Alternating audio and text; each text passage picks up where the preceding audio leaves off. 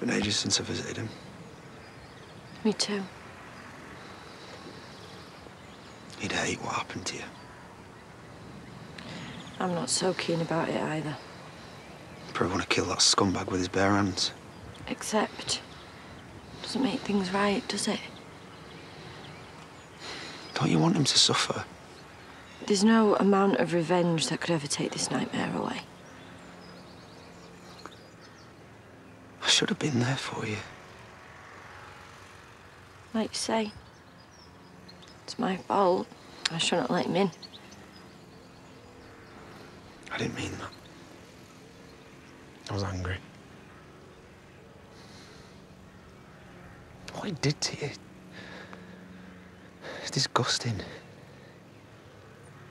Aaron told me how down you've been about this, Rob. But we can't let it eat away at us. All I can do is try and get on with my life. Or else he's won, hasn't he? How can he be so brave? Trust me, I'm not. But don't you see? I have to find something good in all of this. I think Dad'd get that. Look, Dad might not be here for you anymore. But I am.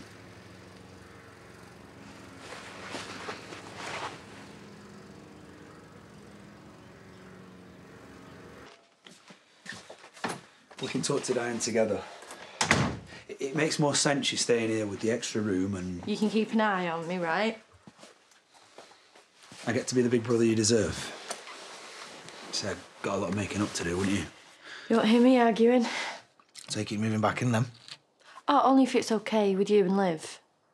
Of course it is. Tell her, she needs to be around her family. You are welcome here anytime, you know that. I'm glad you talked to her. I'm glad you made me see some sense. Been an idiot.